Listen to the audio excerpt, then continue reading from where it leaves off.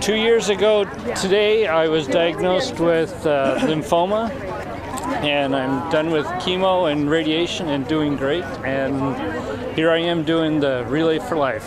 It's a blessing. Faith Chapel. Thank you, Faith. This is their first year. Give them all a big round of applause. Boy, they got organized.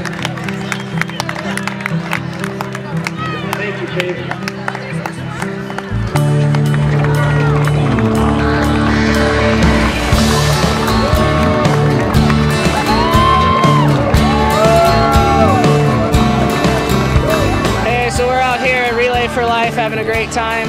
Um, just walking to support the people who have beat cancer and who are fighting cancer.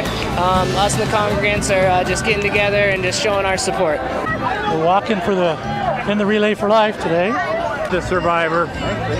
We like to do this every year. Just, it's a good cause.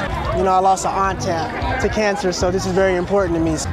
Well, this is probably my 15th or 16th year walking after losing my wife with cancer.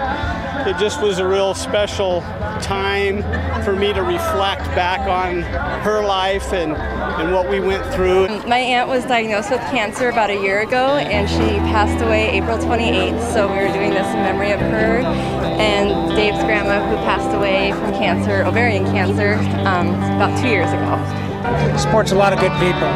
People have lived through a lot of ordeal. We're going to be here as long as we can tonight because it's a good thing and a blessing.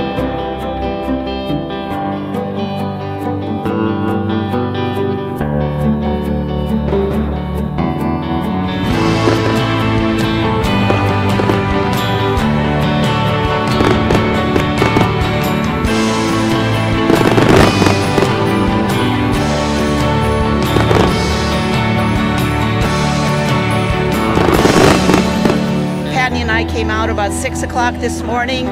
It's getting now close to 7. We just enjoy walking, trying to raise money for the cure for cancer.